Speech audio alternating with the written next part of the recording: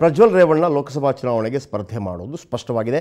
ಸ್ವತಃ ನಮ್ಮ ಪ್ರತಿನಿಧಿ ಹಾಸನ್ ಹರೀಶ್ ಅವರ ಜೊತೆ ಮಾತನಾಡಿದಾಗ ಹಾಸನದಲ್ಲಿ ಏನು ಹೇಳಿದರು ಬನ್ನಿ ಕೇಳೋಣ. ಪ್ರಜ್ವಲ್ ರೇವಣ್ಣ.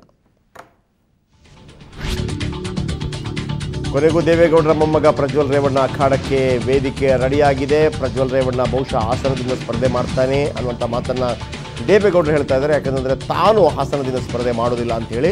ಸೊ ಹಾಗಾಗಿ ಹಾಸನದಿಂದ ಲೋಕಸಭಾ ಚುನಾವಣೆಗೆ ಧುಮುಕಲು ಪ್ರಜ್ವಲ್ ತಯಾರಿ. ಬಹುಶಃ ಅವರು ಕೂಡ ಕಳೆದ ಬಾರಿನೇ ವಿಧಾನಸಭಾ ಚುನಾವಣೆಗೆ, ರಾಜರಾಜೇಶ್ವರಿ ನಗರದಿಂದ ವಿಧಾನಸಭಾ ಚುನಾವಣೆಗೆ ಸ್ಪರ್ಧೆ ಮಾಡಬೇಕು ಅಂತಿದ್ರು. ಅದಾದ ನಂತರ ಬೇಲೂರಿಂದ ಸ್ಪರ್ಧೆ ಮಾಡಬೇಕು ಅಂತಿದ್ರು, ಅನೇಕ ಕಡೆಯಿಂದ ಸ್ಪರ್ಧೆ ಮಾಡಬೇಕು ಅಂತಿದ್ರು.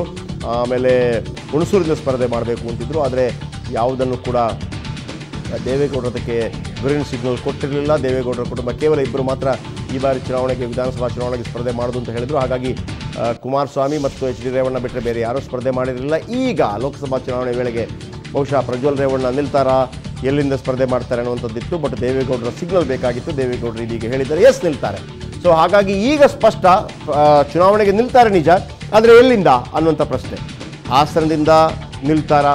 ಅಥವಾ ಬೇರೆ ಕಡೆ? ಯಾಕಂತಂದರೆ ಬೇರೆ ಕಡೆ ನಿಂತರೆ ಒಂದು ಸೀಟ್ ಜಾಸ್ತಿ ಆಗತ್ತಾ? ಹೀಗೆಲ್ಲ ಇದೆ. ಯಾಕಂದರೆ ಹಾಸನದಿಂದ ಹೇಗೂ ಅದು ಜೆ ಡಿ ಎಸ್ನ ಭದ್ರಕೋಟೆ ಮತ್ತೊಂದು ಕಡೆಯಿಂದ ನಿಂತು ಅದನ್ನು ಉಳಿಸ್ಕೋತಾರ? ಯಾಕೆಂದರೆ ಮಂಡ್ಯದಿಂದ ಕಳೆದ ಬಾರಿ ಪುಟ್ಟರಾಜ್ ಅವರು ನಿಂತು ಗೆದ್ದಿದ್ರು. ಅದು ಕೂಡ ಈಗ ಖಾಲಿಯಾಗಿದೆ. ದೇವೇಗೌಡರ ಮೊಮ್ಮಗ ಪ್ರಜ್ವಲ್ ರೇವಣ್ಣ ಅವರಿಗೆ ಇವತ್ತೊಂದು ರೀತಿಯ ಸಿಹಿ ಸುದ್ದಿ. ಆ ಸಿಹಿ ಸುದ್ದಿ ದೇವೇಗೌಡರ ಕಡೆಯಿಂದ ಒಂದು ಗ್ರೀನ್ ಸಿಗ್ನಲ್ ಸಿಕ್ಕಿದೆ. ಇದ್ರ ಬಗ್ಗೆ ಮೊದಲ ರಿಯಾಕ್ಷನ್ ಸುವರ್ಣ ನ್ಯೂಸ್ಗೆ ಯಾವ ಥರ ಇರುತ್ತೆ ಕೇಳೋಣ. ದೇವೇಗೌಡರು ಒಂದು ಗ್ರೀನ್ ಸಿಗ್ನಲ್ ಕೊಟ್ಟರು ಪ್ರಜ್ವಲ್ ರೇವಣ್ಣವರು ಲೋಕಸಭಾ ಚುನಾವಣೆ ಸ್ಪರ್ಧೆ ಮಾಡ್ತಾರೆ ಅಂತ. ನಿಮಗೆ ಗೊತ್ತಾಯ್ತಾ? ಜೊತೆಗೆ ಅದ್ರ ಬಗ್ಗೆ ಏನು ಅಭಿಪ್ರಾಯ? ನನ್ನ ಹತ್ರ ಏನು ಚರ್ಚೆ ಮಾಡಲಿಲ್ಲ. ನಾನು ದೇವ್, ದೇವ್ರ ಹತ್ರ ದೇವ್ರ ಪೂಜೆ ಮಾಡ್ತಿದ್ದೆ.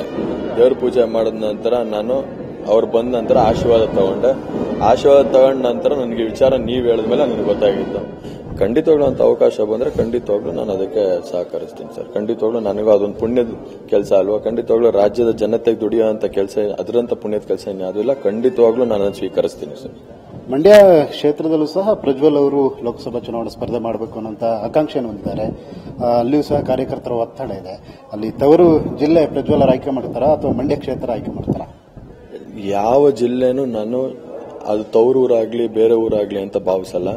ಈ ರಾಜ್ಯದಲ್ಲಿ ಯಾವುದೇ ಒಂದು ಮೂಲೆಯಲ್ಲಿ ಕೂಡ ದೇವೇಗೌಡರು ಸಾಹೇಬರು ದುಡಿಬೇಕು ಅಂತ ಇಲ್ಲಿ ಆಶೀರ್ವಾದ ಮಾಡಿದ್ರೆ ಖಂಡಿತವಾಗ್ಲೂ ಆ ರಾಜ್ಯ ಜನತೆಗೋಸ್ಕರ, ಆ ಜಿಲ್ಲೆ ಜನತೆಗೋಸ್ಕರ ದುಡಿತೀನಿ ಸರ್. ಇದು ಪ್ರಜ್ವಲ್ ಅವರ ಅಭಿಪ್ರಾಯ.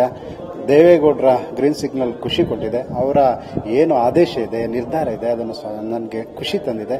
ಜೊತೆಗೆ ಅವರು ಯಾವ ರೀತಿ ಹೇಳ್ತಾರೆ ಅದಕ್ಕೆ ಬದ್ಧನಾಗಿರ್ತೇನೆ ಅನ್ನೋ ಮಾತನ್ನ ಪ್ರಜ್ವಲ್ ಅವರು ಹೇಳ್ತಾ ಇದ್ದಾರೆ. ಹಾಸನದಿಂದ ಕ್ಯಾಮರಾಮನ್ ಶರತ್ ಜೊತೆ ಹರೀಶ್ ಸುವರ್ಣ ನ್ಯೂಸ್